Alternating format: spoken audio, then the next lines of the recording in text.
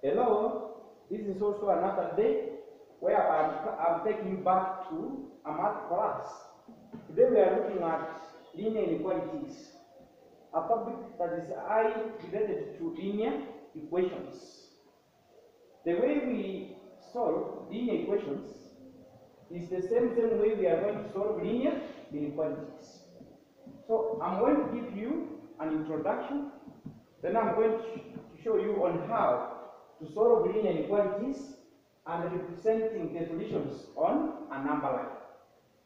As part of introduction, uh, we will say that equations containing inequality symbols such as less than, greater than, less than or equal to, greater than or equal to are known as linear inequalities.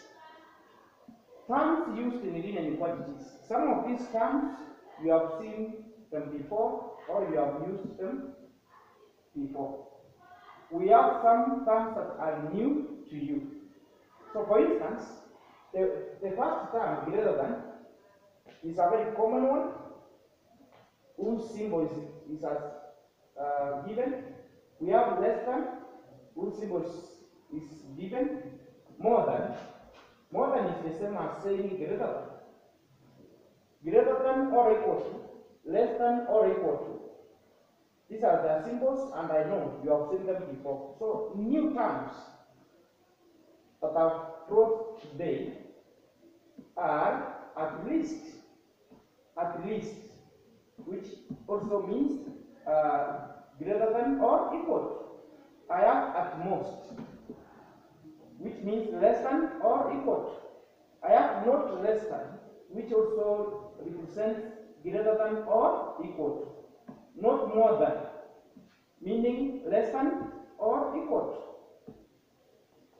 So let's come up with uh, an example, a practical example whereby you have been sent to the market by your parents, then your parents tells you that make sure you spend at most 50 Kenya shillings.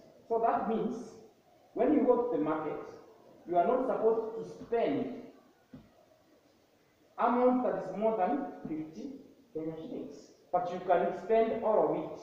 So that's why we include the, the term equal to. So let's look at our example, which is saying that solve the following linear inequalities and represent the, the solutions on a number line. So we will start from A, whereby we are 2x minus 5 greater than 13. So this symbol here will act as an equal sign. So you will see that when we are moving a number, which is a minus, to, the other side of the symbol, then it, its sign will change. The same way changes in linear equations. Now we will say 2x is greater than 13 plus 5. 2x will be greater than 18. We divide by 2, we divide by 2. 2 and 2 will cancel. x will be greater than it will be greater than 9. So once we have obtained our solution, we are going to represent our position on a number line. So I, I am going to draw a number line.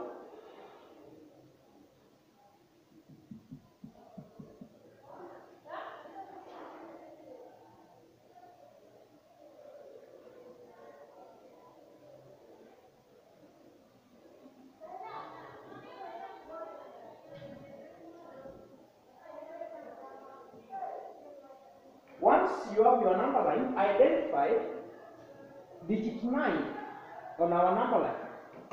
Digit 9 is at this given point. So you just draw a small circle. Then don't shade that particular circle because the symbol here is greater than.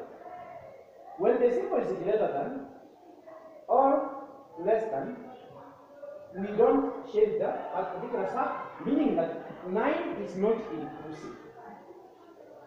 I will give you an example whereby you are, you are, you are supposed to go to a certain kiosk and buy a pen. Then somebody tells you, if you go to a certain kiosk, you will spend more than 10.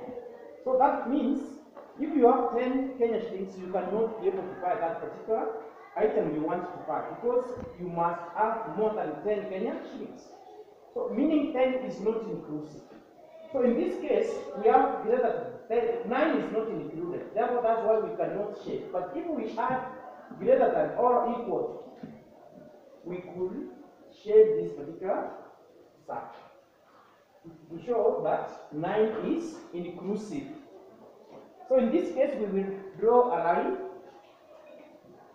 We will draw a line. Then we put an arrow, which is going to show us that the power of x is more than 9. Then we write x is greater than 9. So that's how we represent our answer on an upper line. Let's go to B. In B, we have 6 minus 3x.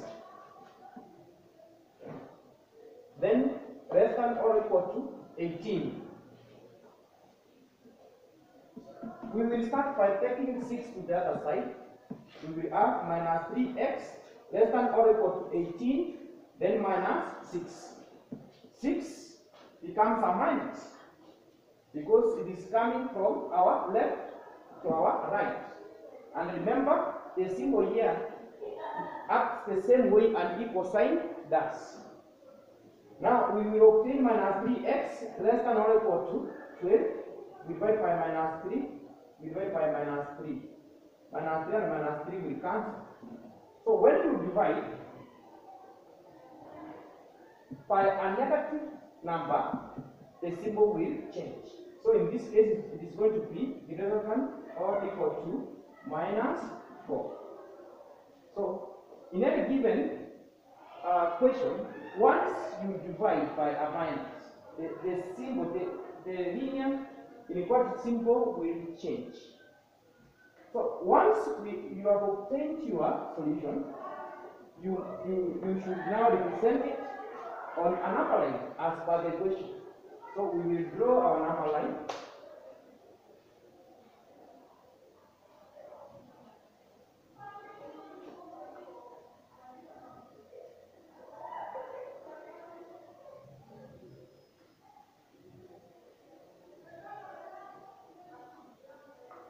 Yes, once you are done, you identify minus 4 on that number line by drawing a small circle.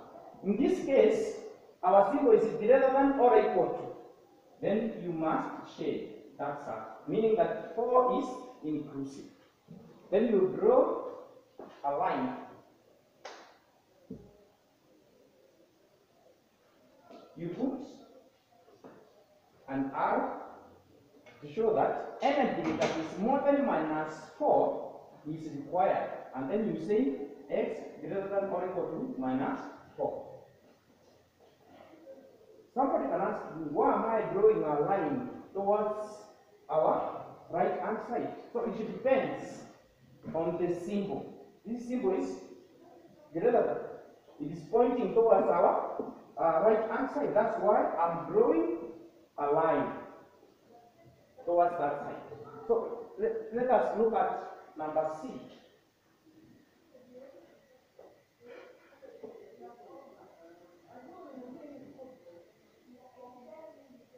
In C, if we look at it, we have more than one inequality, more than one symbol. At first we have less than, then we have less than or equal. Once you look at a given question and then you realize that there are two inequality symbols, then it means we, you are going to have two linear inequalities. In A and B, we have one uh, symbol in each case. That makes this statement to be a one linear equation. But here we have two symbols, so it means we are going to have two uh, linear inequalities. We are we are having four minus 2x less than minus 3x plus 1 less than or equal to 19. To obtain the first inequality, you start from your left. You move all the way up to where we have the second inequality. The first one is here, the second one is starting at that point. So this gives you the first one. Then you move to your right, you start from there. This is where we have the first one. You continue up to where we have the second. So this becomes our second inequality. So we will solve them separately by uh, now coming up with the first one, which is 4 minus 2x less than minus 3x plus 1. We put like terms together. We are going to have minus 2x less than, no, no, no, we can bring 1 first. We can bring minus 3x first, which will be positive. Then we put our symbol, which is less than. We have plus 1. We take positive 4 to the other side, whereby it is going to become a minus. Minus 2 plus 3, it is minus 1. So that gives us minus x. That will give us, so this is positive. We have uh, minus 2 plus 3, it will give us positive x. Then less than, this one will give us minus 3. Now we go to the second uh, inequality whereby we have minus 3x plus 1 less than or equal to 19. We take 1 to the other side, that is 3 minus 3x uh, less than or equal to 19, then minus 1. Minus 3x less than or equal to 18. We divide by minus 3, we divide by minus 3. Remember I said that when we are dividing by a minus in linear inequalities, the sign will change. We will have x less than, in this case it will be greater than or equal to minus 6. We now combine the two. We start from the least one, between minus 3 and minus 6, using a number line. Minus 6 comes first. Then it means minus 6 is smaller, so we will say minus 6.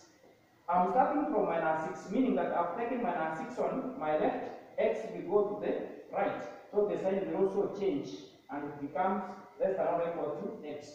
You now bring other uh, which is less than minus 3 because now 3 minus 3 is greater than minus 4. Then you draw a number line.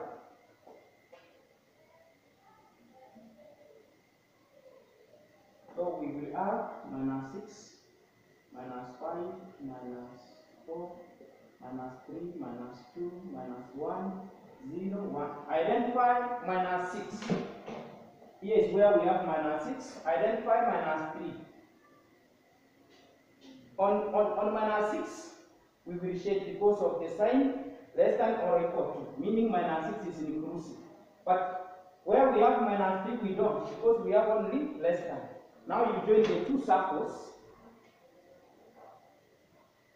then now you write the solution and say this represents minus 6 less than or equal to x less than minus 3. So that's how you solve linear inequalities. Thank you for listening to me. I appreciate you for supporting this channel. God bless you. See you next time. Bye.